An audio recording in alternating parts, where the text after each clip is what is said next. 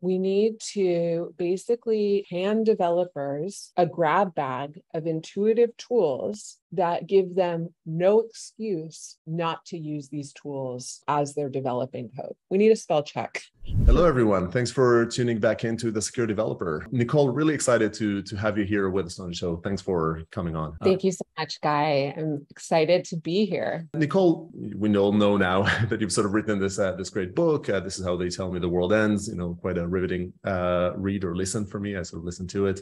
Um, for those who are not familiar with it, you know, haven't read it yet, tell us uh, a little bit about what the book is about. Sure. So the book is really about this race to the bottom that we have been in with cybersecurity. And the title came to me in the shower one day and just sort of stuck.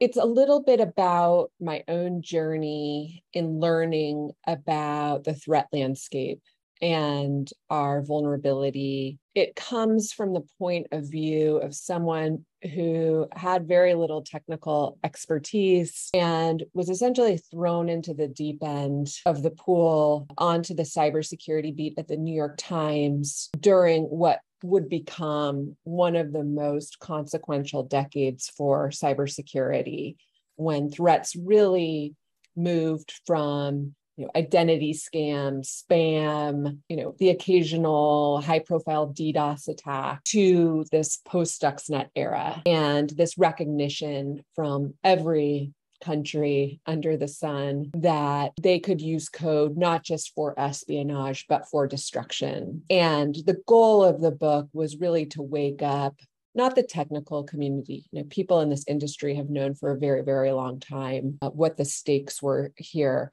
but to wake up the non-technical community and to say hey this is not really just a technical problem mm-hmm. anymore. This is a societal problem. This is a culture problem. This is a leadership problem. This is a policy problem and this is an awareness problem. And it's time that all of you uh, learn what's been happening and, and the trade-offs we've been making on cybersecurity in the name of everything else whether it was cost savings or convenience or even national security, you know, old thinking of national security we were sacrificing cybersecurity for. So that's the book. So the book is full of of stories that are interesting, although not always like uh, you know you're not always happy to sort of hear that they've happened, but they're sort of uh, they're riveting. Even as a techie and even as someone in cyber, there's still uh, some newness. You know, not not as much as I would like. You know, when uh, when listening to it, it kind of gets dark at times, right? In terms of all these stories. Did you did you have a moment where you sort of wondered, you know what, maybe I don't want to really like uh, continue exploring here, or like were there uh, crisis moments in that front?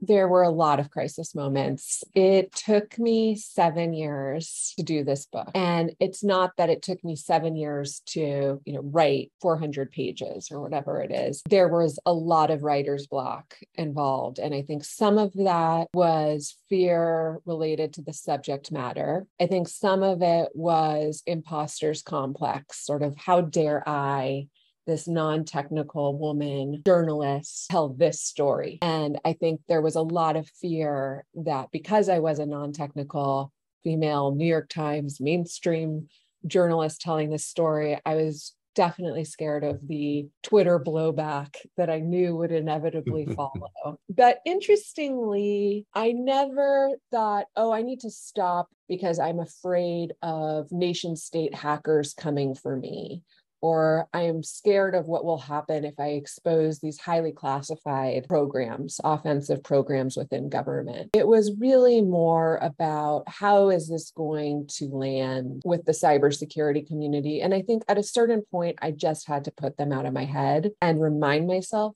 I'm not writing it for the, the community that already knows and has mm-hmm. known for a long time what's been happening in this space. I'm writing it for my mom. I'm writing it for Senator Klobuchar. I'm writing it for someone who might have some vague notions of what's going on in this space. You know, maybe they've read my articles every now and then, but they don't really know how we got here. And they don't really know our own government's role in how we got here. Mm-hmm. And they don't understand that this is not nuclear. You know, this is not a situation where just because you're on the top and you have the top weapons in the space, your adversaries won't get there. It's really a space where there's a low barrier to entry and the gap between the cyber superpowers and everyone else was closing much quicker than yeah. I think anyone in the intelligence community certainly gave them credit for. And so, you know, at the end of the day, I, I did the book, but I'll tell you that actually the publisher, my original publisher, canceled on me um, really? about two years before the book came out. And I had to go out and resell the book. Everyone turned me down except for one editor at Bloomsbury, uh, Anton Mueller, who said, I, I just want it as is. I don't want to change the title. I don't want to change a single word. I see that this book needs to get out there and I will do whatever it takes to get you across the finish line. And thank God that that happened. And I, I even got a, a note from the old publisher sort of saying, wow, we, we really screwed up here.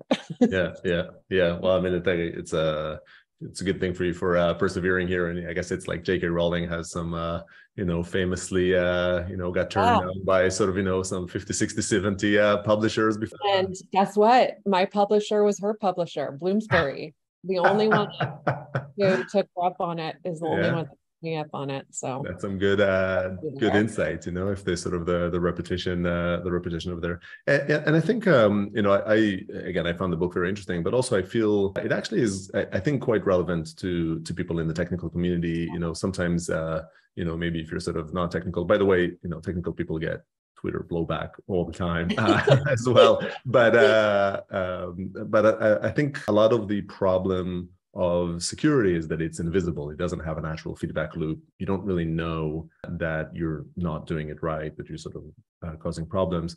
And like it or not, one of the ways of raising awareness and raising, you know, how much people care to look is to sort of understand the cautionary tales, understand the the what ifs. And it's hard when you hear about a hack that happened to corporation, other it's not you. There's a lot of like, it won't happen here. And I feel like part of what the book does is, you know, it talks about geopolitical impact of sort of cyber espionage and sort of cyber warfare. You know, you can't really say this doesn't affect me. Uh, and and so I do think that it uh, you do need to sort of touch home sometimes, and and I think it achieves uh, achieves a lot of that. Yeah, I think that was definitely my takeaway over the last ten years, and I think it was one that when I went to the person that I call the godfather of cyber war in the United States, this character, um, Jim Gosler, who's a, a, real hero, considered a real hero in the intelligence community. He emphasized this point over and over again. You know, if he didn't think that I was paying attention, he would state it again. He would say, Nicole, I need to repeat this. You can never be fully sure that a system doesn't have vulnerabilities. And it goes back to this famous speech by, it was Ken Thompson, Reflections on Trusting Trust, that he gave mm-hmm. in the 60s, where he said, unless you've written the code yourself, you, know, you can never be fully confident that it doesn't contain a backdoor. And what Jim Gosler said to me was think of where we are. Well, think of where we are now with global supply chains. Not only do you not write the code, you don't make the chips you know you're not overseeing the factory. In fact a lot of these factories are in countries that we would call adversaries like China that are some of the most prolific backers of, of state sponsored hacking and cyber espionage. And, and yeah. so it's just this huge wake up call um, that, you know, even the people who are at the top of their game don't trust anything. Yeah, absolutely. And I love that you mentioned the reflections on trusting trust. I, uh, I had a talk at QCon a few years ago titled uh, Developer as a Malware Distribution Vehicle. Not as good as your title, but I was fond of it at the time. uh, but, uh, you know, talked about that and XcodeGhost, then today, you know, the world is full of malicious component examples. So indeed, you know, let's, uh, you know, th- there's a lot of sort of good reason to kind of bring you on here and uh, and share the stories with uh, uh with the audience. But specifically, I think you know an area that you know touches home to some people listening here uh, is the whole world of supply chain security and indeed you know uh, uh, software produced by you know one entity maybe consumed by another before you know we'll, we'll talk a little bit about maybe the intricacies and what can we do about this but maybe let's start with some stories. You've come across you know quite a few of those over here. Can you sort of share a few examples from the book or not around supply chain security and how it indeed plays into the geopolitical cyber warfare world? I think you know the biggest supply chain security moment in recent times was SolarWinds. You know, this this attack that I'm sure your audience is familiar with, but just in case they've been um, hiding in a cave somewhere for the last couple of years, you know, this attack uh, conducted by Russia's SVR intelligence agency's hackers that essentially hijacked the uh, software update from SolarWinds, which was a Texas company uh, that marketed itself as a security company, visibility software, you know, software that essentially lets you see what's on your network. And they hijacked the software update. So everyone who did what you're all told we're all supposed to do is keep our software up to date, patch, etc. Um, you know, when they downloaded the latest SolarWinds uh, software update, they were instead getting a Russian Trojan horse. And we now know that Russia used that access to potentially breach uh, you know, some of our most critical government agencies like the Treasury Department, the Department of Justice, uh, the Department of Homeland Security, the very mm-hmm. agency charged with keeping us safe in this realm. Department of Energy, even some of the nuclear labs used SolarWinds. What struck me at the time was that once this was disclosed, and by the way, it wasn't disclosed by the NSA, you know, or the top hackers in government who for years had been saying, we have a, a, policy of defend forward, active defense. So long mm-hmm. as we're talking into foreign networks, into the SVR systems, into Russia systems, we'll have this early alert system. Yeah, maybe, yeah. We'll know, you know what they're over overconfidence over there in the uh, little overconfident, right? And this attack really exposed our blind spot because they staged it at servers inside the United States where the NSA can't look. It was only discovered because Mandiant or FireEye discovered that they had bre- been breached, and out of the goodness of their own hearts, disclosed that breach. It, it didn't touch PII, you know, personally identifiable information, which would have triggered state data breach notification laws. So they they raised the red flag, and and thank God that they did. Then in rewinding the tape, discovered okay, this started with uh, the update that we did from SolarWinds, and, and we're able to flag that for for SolarWinds and for everyone else. But otherwise, you know, we might not have ever known yeah. about this breach, and they were inside our systems, I believe, for as long as nine months before anyone knew about it. But the final thing I'll say about SolarWinds is what was stunning to me as a reporter was calling up all of these companies listed and government agencies listed on SolarWinds website as customers and trying to confirm, you know, that they had been impacted or, or were at least in the process of trying to forensically understand whether they had been impacted. And half of them didn't even know that they had been using SolarWinds let alone that SolarWinds had been really under investing in their own security for a long time, that they were now owned by a private equity firm who'd been cost cutting, was essentially now run by an accountant, and that most of the build code uh, was was done in Poland, which is you know Poland, but also Belarus, not exactly um, you know a friendly. So you know it just shined this huge light on our blind spots in the supply chain, in the code itself, in um, you know the NSA's ability to actually look for this stuff, sort of the, the overconfidence of of our offensive strategy in being all we needed to defend ourselves. And I think since then, we've only had more and more wake up calls. You know, the Log4Shell issue last December, where we learned that this critical um, open source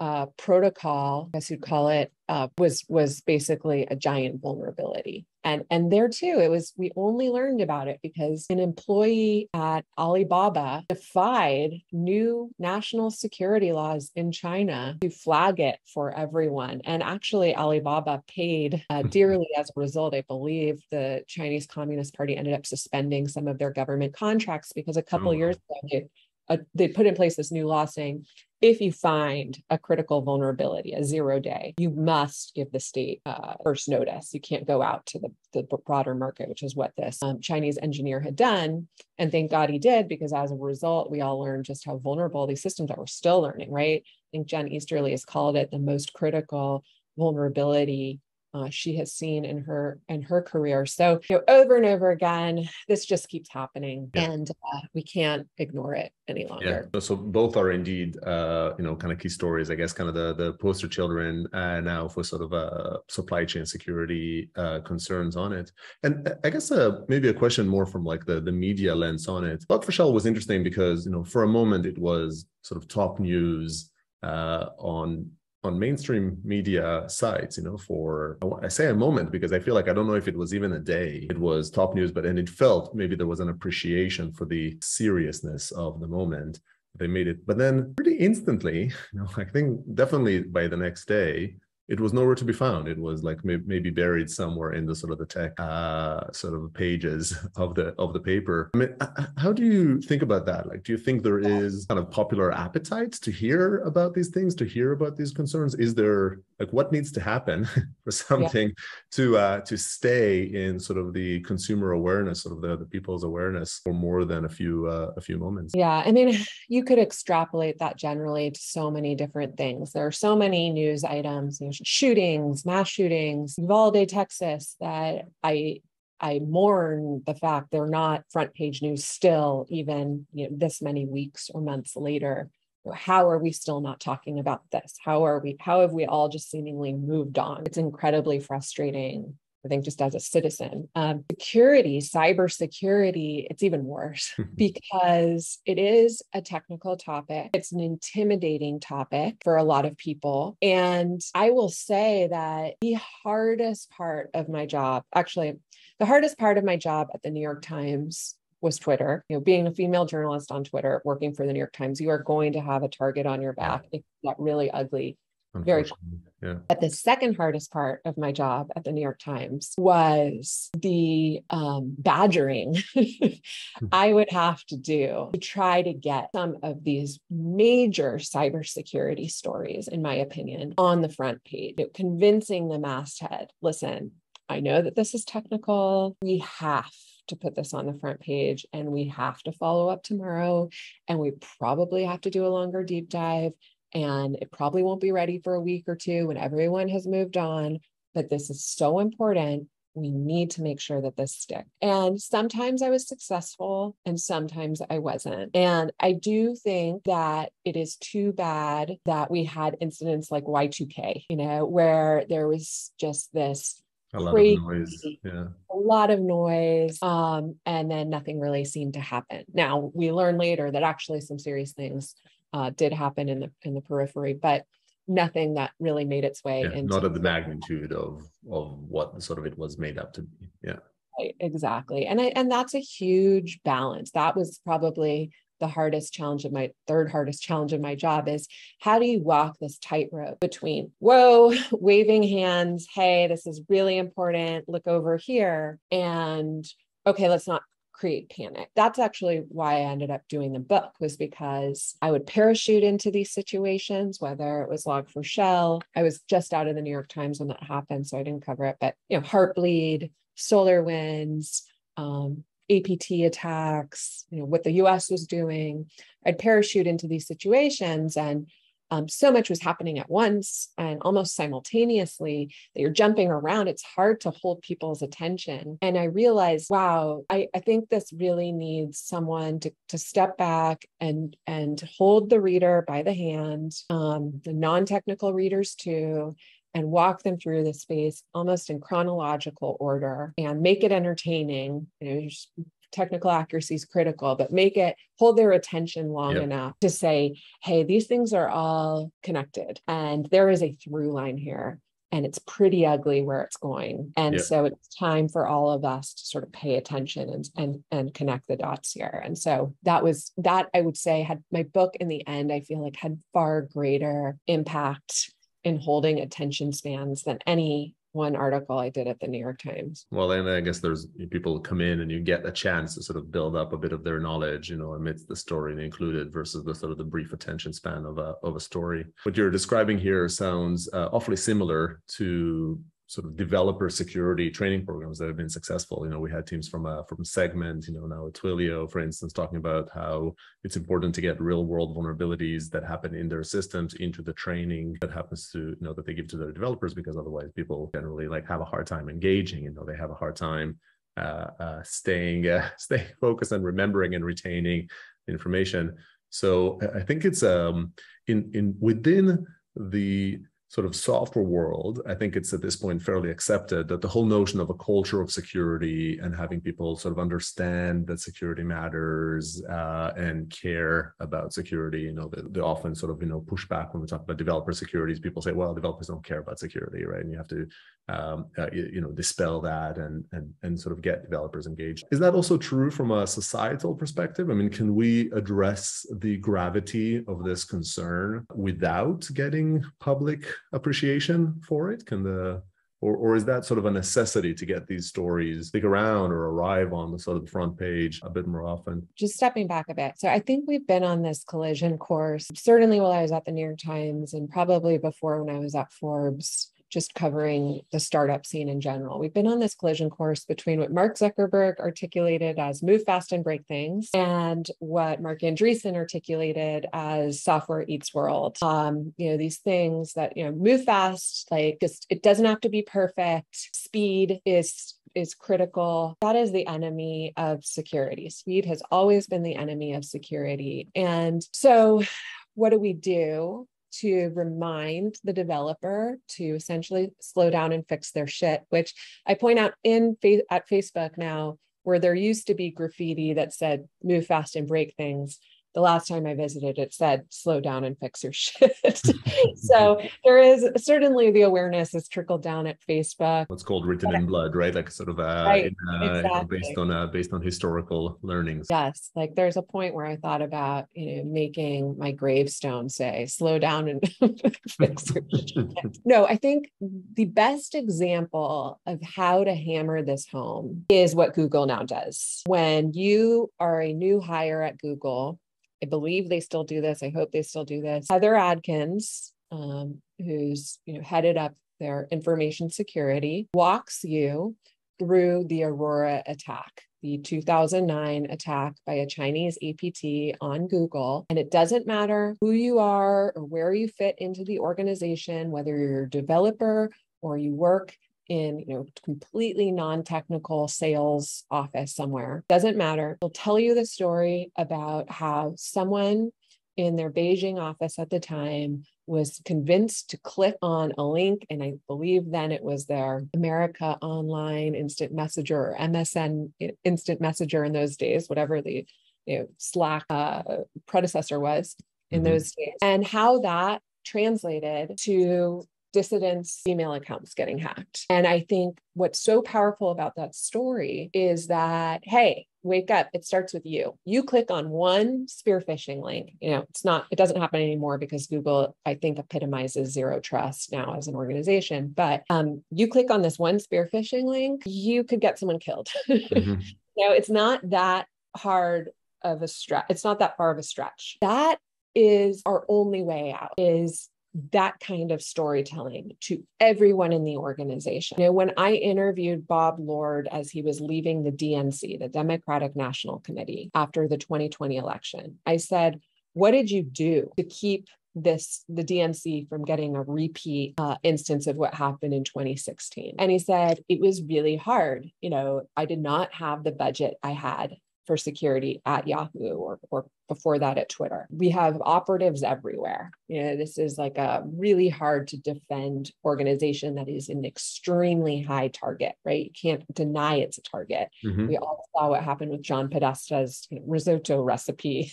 Something as seemingly innocuous as risotto become weaponized in an election. Yeah. So I said, How'd you do it? And he said, I wish I could tell you there was like a, a magic uh, algorithm.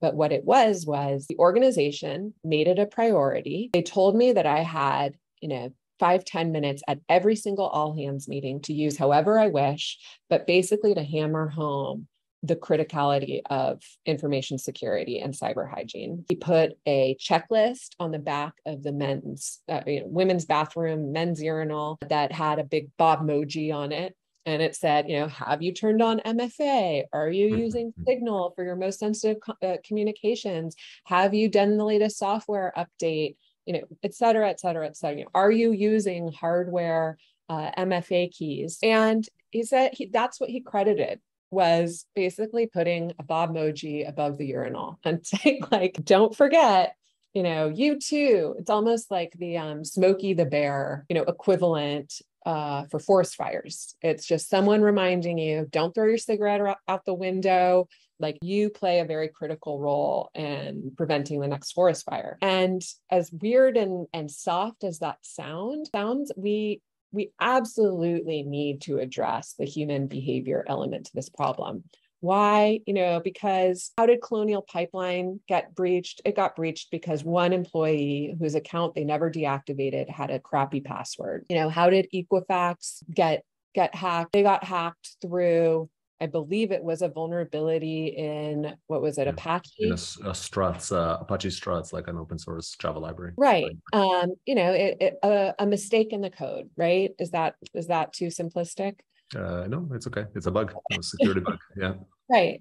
So it's it's it's user error. You know, we think of this as a technical problem, but at the end of the day, it's really user error. And the only way to address user error is to convince the user to care about this. And the only way I know how to convince people to care about it is either to hack them myself. Everyone always seems to get religion after they get hacked. You know, you only turn on MFA after your Instagram account gets taken over, whatever it is. Or you tell them the story, the really bad story about Colonial Pipeline or Aurora or your friend that got hacked and what happened in the aftermath. That's the only way I know how. Yeah. Yeah. I mean, it's interesting. It's it's always uh, it's the constant debate, right, in security. Because on one hand, if you you know, maybe it's like to your example about Y2K, right? If you, uh, you know, kind of yell wolf on a regular basis, and most of the time, so well, they keep telling me I need to do this, but look, it's been five years I've been doing this and nothing happened, probably nothing will happen in the sort of the next five years is a constant concern, right? And sort of alert fatigue. So I guess the balance is always between constant uh, mindfulness and awareness and desensitization, you know, of saying, well, you keep telling me about it, but you're just spreading fear or because whatever it serves your purpose or your sort of agenda and you're not, it's not real. But I guess the more concrete and the more kind of close to home it is, uh, the more people will get into the, uh, the religion, you know, as you point out, everybody gets religious after, uh, after their hack. Um, right. Hopefully, hopefully we find slightly better approaches over uh, over time. I, would love to sort of talk a little bit about observations that you have uh, coming into the industry from from from outside actually because you're maybe you know not technical and you're looking at it sometimes you know we get blinded to it a bit inside um, but before I do that, I just just before we leave the uh, the stories uh, uh, side a bit, I'd be remiss if I don't ask you about uh, about Ukraine. You know, I know you're sort of not you know uh, at the New York Times at the moment. But still, from what you sort of see, have you seen sort of cyber warfare, or specifically supply chain, kind of play a role? Um, you know, there's there seems to have been sort of a sense of almost uh, I don't want to I don't know if I want to say disappointment, but there was like maybe uh, uh, expectation that there, there would be more visible uh, blowouts uh, on the space from uh, from Russia's force doing it. Any any thoughts on what's happening over there? What do you've heard?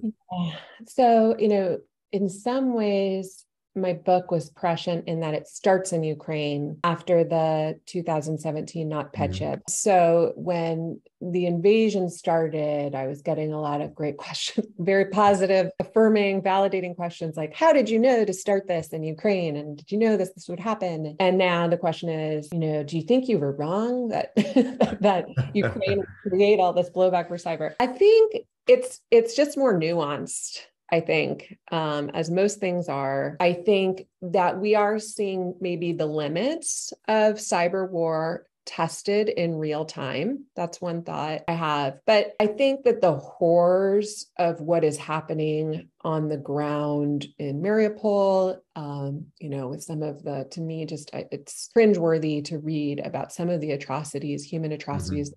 That happened, um, rapes, you know, forced migration, horrible uh, stories. Yeah. Horrible stories. And those obviously are going to consume your bandwidth for attention um, in ways that code and cyber will never be able to compete unless you see you know big explosion or maybe a colonial pipeline but when you look at the facts on the ground we now know that actually Russia did infect uh, a couple Ukrainian substations, power stations, uh, in you know, the weeks of the invasion. Now, they didn't turn off the power, but they could have. They could have turned off the power to millions of Ukrainians, but they didn't. And I suspect, and you know, I, you'd have to be a fly on Putin's wall to know why they didn't shut the power down, right? Yeah. But I suspect that if the reporting is accurate, that Russian intelligence uh,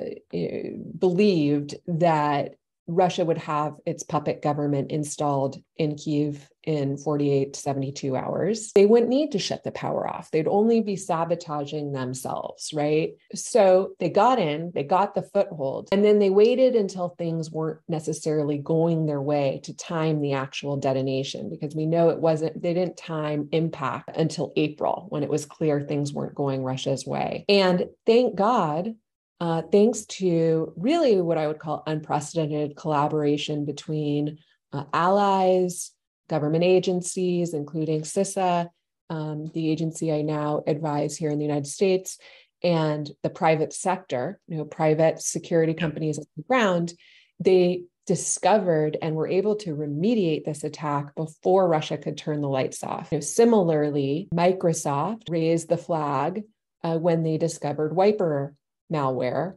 on critical Ukrainian banks and government agency systems and were able to help remediate before we saw the worst case scenario. Uh, similarly, we know that um, Russia, we believe, I think, I don't know if the, the attribution has been nailed, but um, hacked Viasat, you know, this satellite internet broadband provider, not just to Ukraine, but to Europe, and basically interrupted people's um, modem connections. That could have really swung the information war Russia's way if we hadn't been able to see these this incredible footage, uh, uh, you know, not just from news organizations, but from grandmothers' phones, from their rooftops, sort of these Russian atrocities on the ground. But lo and behold, in came Starlink and Elon Musk. You know, we all probably have some strong feelings about Elon, but in this case, this was a really, um, I think, underappreciated Elon moment. Yeah. He was contacted uh, actually by a Ukrainian CEO here in Silicon Valley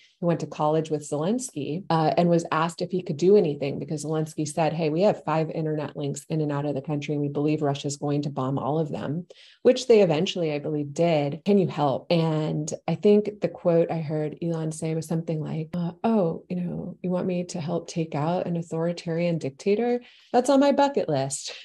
that sounds sounds fitting of the stereotype you know i don't know right, him personally right. but uh you know sounds right. uh, in character so they were able to mitigate you know just the internet going out the power going out all of their data being destroyed. But these things were attempted. Right. you know, these they just didn't make the didn't make the titles because sadly there were far worse things from like a human interest perspective and uh and what people are you know looking to find out about that uh that were happening. Yeah. I mean i think that the end the last thing i'll say about ukraine is we're not out of the woods yet yeah. you know think the more we tighten the screws on Russia with sanctions, with the uh, ban on Russian gas, uh, vodka, diamonds, um, you know, the more we explore this theory of do we ban visas, et cetera, the more likely it is that Putin will respond directly to the West. Uh, you know, so far it's all been a lot of just fear mongering and threats.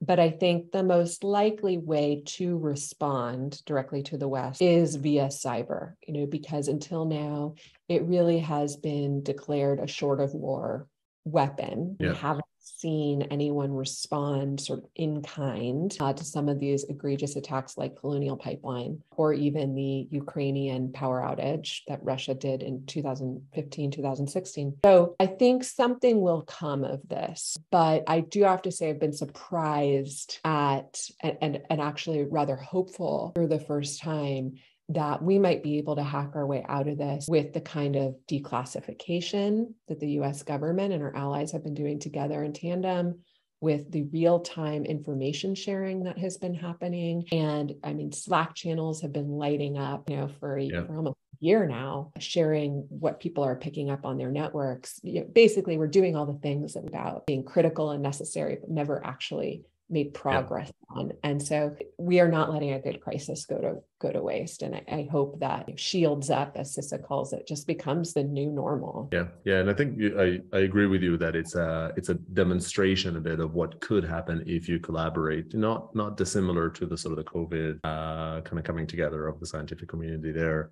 Um, to say, well, when there is some some unity along with caliber, along with sort of capability, uh, you can actually thwart some some pretty serious uh, serious enemies for now, you know that the job is not done. But thanks, this is super insightful uh, on it, and you know I, I think um, uh, yeah, you, you phrased it well. Don't don't let a good crisis kind of uh, go to waste in in the sense of of understanding what happens. You know, this happened again, and how do we continue um, and to an extent an acceleration of certain trends and drives for transparency and security and, and things like that that you have actually mentioned in the book uh, and they were sort of long-term trends so this might have uh, sort of fueled uh, fueled that fire uh, yeah it's almost like the antidote to um, what happened during covid like I was racing to finish my book during COVID, and we were seeing a huge uptick in the frequency of attacks. And it was clear that adversaries, threat actors, cyber criminals were all um, exploiting remote work, you know, the rush to remote work. Um, it was clear that because this was a global pandemic, that we were leaving it to each nation to figure out how to respond. There was a lot of APT activity. Um, you know, some from countries we had never, uh, you know, had never really crossed our desks uh, that were hacking each other just to figure out what everyone else was up to or how far they, along they were with vaccine development or what China knew when they knew it when. So what I said in my book was something it's been a while now something like you know this is this this is either going to be a learning lesson and we're going to adjust our defenses accordingly, or this is just a very, very um, small glimpse of the nightmare that will come. And I think Ukraine interestingly is sort of the, the more hopeful um, prism. You know, it's sort of like here's a glimpse at what cyber defense and collaboration and threat sharing and declassification and partnering with our allies and having a unified response could look like in cyber. Here's the impact it could have. And we can't just let this kind of trickle out. We have to figure out how to keep it up and keep improving, keep iterating, and keep yeah. sharing. Yeah, and you uh, you you actually mentioned to me a conversation before this around actually seeing a bit of a dip in ransomware kind of payouts during like basically potentially affiliated with the Ukraine war? Yeah, so it's really interesting. I, I think this data is still being collected, but Nozomi, which specializes in industrial control security, uh, where I'm now an advisor, shared with me that one of the things they're seeing is instead of ransomware, they're seeing just wiper malware. So that's one one data point. The other is that when what Recorded Future and others who really are tracking ransomware have said is that there has been this sort of mysterious dip in ransomware attacks on the United States. And I know also TRM Labs, which tracks uh, blockchain intelligence and tracks ransomware payments, has is is seeing a big reset among some of the major Eastern European, let's say, ransomware groups that they've they're, they're sort of rejiggering. And one theory here is that for a long time, we know ransomware victims were just paying, right? They the ransomware groups knew just what to charge. You know, it's, it's it was always going to be cheaper than the cost of total remediation and the threat that your data was going to pop up online. So, so victims were paying for a long time. After the Russian invasion, general counsels had to say, hey, I don't know if we can pay this. I don't know where this ransomware group is based, but if there is a even you know, minuscule chance that they are based in Russia, we would be in violation of sanctions by paying them right now. Hmm. we can't pay. And so we started seeing you know some resistance pop up that I don't think ransomware groups expected or anticipated or you yeah. know for Definitely a long time. Is a bit more uh, roundabout kind of uh, implication. Right. And, and we also start seeing, you know, a pickup in ransomware against other countries in Latin America, for example. But there is an interesting question to be asked, which is, huh, you know, maybe actually this idea we should ban ransomware payments and just have a blanket policy has some legs as a as a deterrent. And then, like I said, Nozomi said, you know, in some cases, they, there is no ransom. They're just wiping. So maybe these groups that would have charged you a ransom are just sort of giving you the middle finger and yeah. uh, and just know, sort of uh, looking to attack and cause damage. Right. Um, super super interesting um, so we kind of veered i think a little bit a little bit out although it's still all kind of impacts of vulnerabilities uh, and activities let's sort of maybe let spend the last stretch talking about what we can do about them uh, and so you know, we talked about this a little bit. We talked about awareness coming in. You mentioned sort of the, the value of training and raising awareness inside the organization. When you think maybe like on two fronts, on one side, you know, from a, and on the other side, maybe more so from a DevSecOps uh, sort of development side, what do you, what do you think, or what do you, what have you sort of heard suggestions on that we should be, that we should be doing, that we can do to, to change a bunch of these equations? Supply chain security is massive, maybe at the scale of like fake news in terms of its complexity. What, what can we do about that? So, the first thing I'll say is we need our Steve Jobs of cybersecurity. We we need someone to come in who makes this a lot easier to be secure than it currently is, right? I'm out there talking all day long how it's about how it's inexcusable if you don't have MFA turned on on your email, on your financial accounts, on your social media accounts right? But then i have friends that i went to princeton with who were, who are like I, i've been trying for three days now to turn mfa on my venmo account and i'm sorry I, it is it, i can't figure it out. I give up. That's ridiculous. If it's hard for my you know ivy league educated friend who who peripherally works in mm-hmm. cybersecurity to turn mfa on on her venmo account then we are failing everyone as an industry. That's just ridiculous. I think we need a, a Steve, Steve Jobs of cybersecurity to make security as intuitive as the iPhone was when it was released. You know, it should be just as simple to turn on MFA as it is to you know download an app on your on your iPhone and right now it's a nightmare and the stakes only get higher the longer you wait right so that's number one is we need to attack this problem from a usability and design perspective and i'm still waiting for that i hmm. think at the devsecops layer we need to basically hand developers a grab bag of intuitive tools that give them no excuse not to use these tools as they're developing code, right? Like just oh, let me stop and just click on this button, almost like spell check. Like we need it. Actually, I've never said that before. We need a spell check for hmm. code. So there's a huge market opportunity there. The other thing we need is we need quantifiable risk metric. We need to know how much risk I'm taking on when I hire you or I bring in your software or I acquire you. And there's nothing. There's nothing like it. There's not, there's no FICO score for cybersecurity. Now, there are companies like BitSight who are looking at this problem and they are doing it from the outside, right? They're looking for anything they can from the outside, scanning your network, seeing if you have some server out there on the web that doesn't have MFA turned on or that they could potentially access as a hacker, that kind of thing. That is a really good start. And we need to standardize that, right?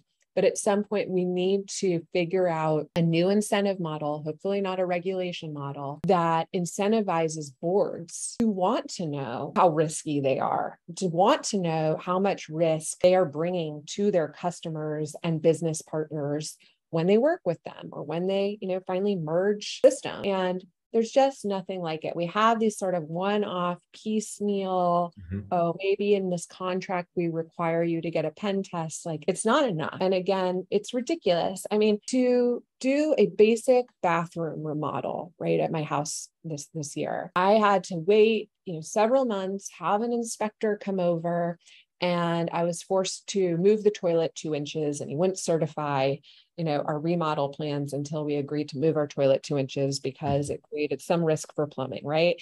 Like it's it's annoying okay? I hope we don't get to that level of regulation yeah. but it's ridiculous that that's the level of effort i have to go to to put some tile on my bathroom floor and do a new shower but there's no equivalent when you know verizon acquires yahoo or uh, a company agrees to work with SolarWinds and give them blanket access essentially to their network. I mean, that is stupidity. It's just insanity. So we need standards. I think I, I really am pushing hard on this idea that listen, as a capitalist society, we have to work with incentives. We have to figure out how to work with incentives because, unfortunately, when you do regulations in the United States, number one, we have a terrible track record at creating comprehensive, nuanced cybersecurity legislation. Yeah. All do is look it's at hard. the it's a, it's a complicated and fast moving space. It's hard for legislation to kind of keep up to some exactly but why can't we create tax breaks for companies that agree to get a real pen test, not a compliance guy come in with a checklist, but a real pen test and then show, okay, you don't need perfect security, but show, okay, over time between, you know, this time this quarter and two quarters ago, I was able to minimize my attack surface by 30%. Great you should get a tax break because your security is now your cybersecurity posture especially if you're a water treatment plant or a SolarWinds or you know whatever you are there's so many companies that really are critical infrastructure united states critical infrastructure global critical infrastructure so we should be figuring out how to help secure them and we haven't figured that out yet yeah. uh, on the regulation front so i'm hoping we can figure it out uh, you know, as a as a form of incentive structure. Yeah, to do the so it's in, first of all just kind of get back a little bit to the squiggly line because I'd be remiss to say 100 percent the line, and in fact, to an extent, you know, what we're sort of doing at Snyk, literally, we have a little squiggly line, yeah, behind the code. Still a long way to go, you know, like and there's. I love to, that. To like you're writing the code, and it's sort of like, are you are you just literally? Yeah, technically, I think it's as you hit save but the autosave works as well. You know, the thing will uh, will, oh, uh, yeah. will show you if you've sort of written a security mistake in the library or or in your code. I mean, um, I think some of the biggest advancements in cybersecurity are not the ones that the cybersecurity um,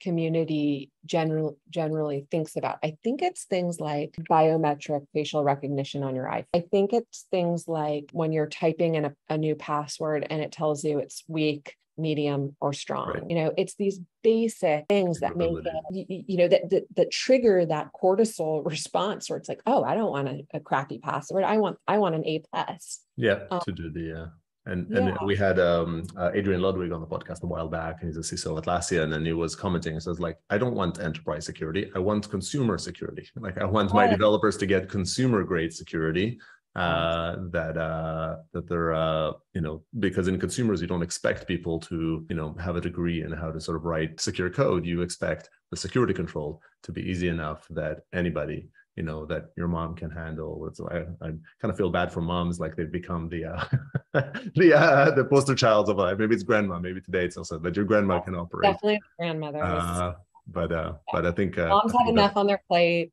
But that's kind of like it's it's an interesting point because yeah like think of like the busiest person you know. It's probably a working mother or even just That's a stay-at-home mother or father, and they have so much on their plate, and they're like, uh, you know, when I see them at school drop-off, they're like, ah, cybersecurity, like, how do you live with yourself? Not exactly. Ah, you know and it's like well you're the person that i we should be helping.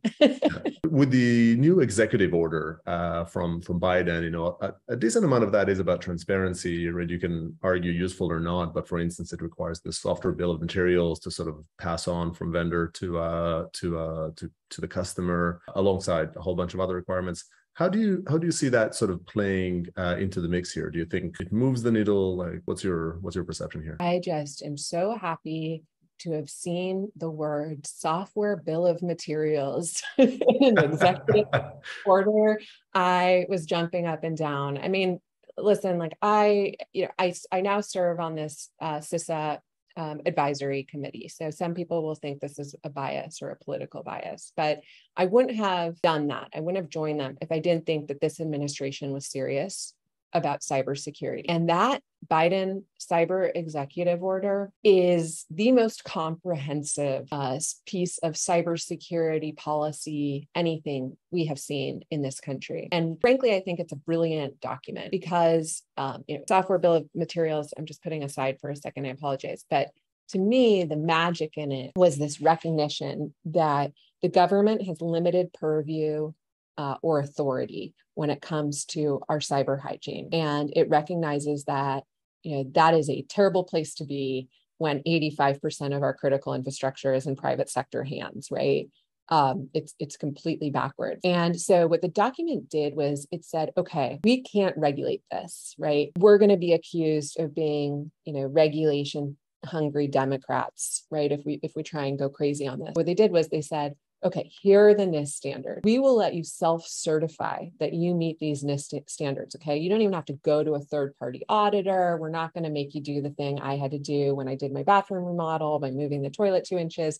You can self certify that you meet these NIST standards. Uh, but if we catch you lying to us and you are a federal contractor, you are banned from ever doing business with the federal government again. That is the first stick I have ever seen really in this space. And it has had a huge impact. So good on them for figuring out how to use essentially the power of the purse to say, hey, cut it out.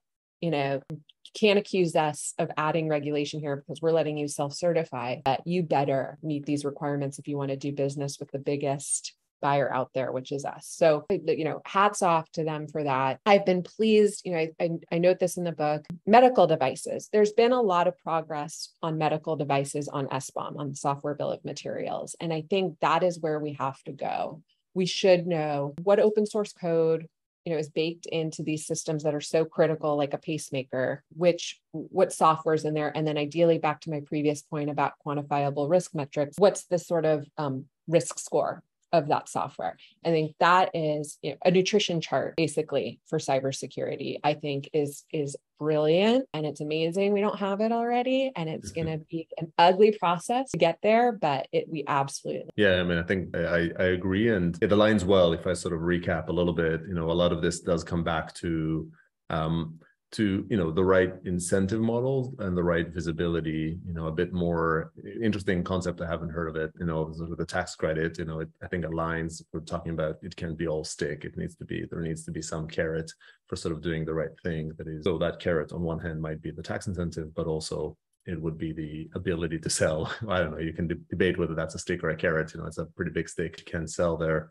uh, but in general, kind of you know, be more successful by touting your security certifications, security investments to to sell more, but also raise and simplify that awareness uh, everywhere and increase the transparency with the hope that that mobilizes us to uh, to act. Um, and I think just to sort of say that the uh, uh, Tim from Mandiant here, and uh, I'm sort of name dropping a bunch of uh, Ask experts, you know, Tim from Mandiant and uh, uh, Jeff from LinkedIn, you know, the CISOs there both commented on how they kind of expect public markets to also introduce things that are along the lines of sort of the generally acceptable accounting principles that happen sort of post Enron and sort of the fraud over there when it comes to I think security. I call that the digital Sarbanes-Oxley and it's coming. And my hope is that all of the people involved in that legislation will have read my book and really understand, have, have had at least a basic primer in the issues involved before they they send out that legislation because it could go terribly wrong or it could be exactly what we needed. But yeah mm. i think you know we, we had almost too much hope for instance that cyber insurance would save us and it it didn't right? Yeah. It ended up being an enabler for ransomware because in too many cases, insurance companies were saying, "Oh, just pay the ransom. That's that's going to be a lot cheaper than than the other." So sometimes market solutions are not perfect, and neither is is regulation. So yeah, I mean, like I said, when I said you know, among my target audience was Senator Klobuchar. It's like, yeah, someone who who is interested in this issue, who could potentially be a leader on this issue, and has the capacity for nuanced policy thinking is is perfect. Some uh, some improvement. There's definitely raised awareness uh, in it, and you know we uh, continue to do our share and sort of see where it leads us. Nicole, huge thanks for uh, coming onto the show. Uh, you know, I encourage anybody to uh, find. You know, I assume your book is basically you can find it on any on any one of the platforms that you might expect. Really, uh, really kind of a good read for uh, for awareness and for, for what it's worth, also like a, an interesting, you know, fun a fun read and great storytelling. So I uh, recommend it. But thanks for coming on and sharing more insights over here. Thank you, Guy. I, I really have loved speaking with you and, you know, I'm always intimidated when I speak to someone at your technical caliber, but when you start having these discussions, you realize um, the there's just so much overlap and alignment in our thinking, and we come at this from such different perspectives. And you know, this is one way out too. You know, having these conversations um, with people who are coming at the same problem from from completely different areas. So I really appreciate you doing this. No, no, no. and I think you know the and and I think I mentioned this to you as well, which you know I believe that you you kind of need to need to leave security to fix security. Like you know, when you're in an echo chamber when you look around, it's hard to see how things might might uh, might evolve or change. Uh, and so it's great to get your fresh perspective. And I think there's been much more alignment than misalignment in the views from inside. So thanks you and thank everybody for tuning in. And I hope you join us for the next one.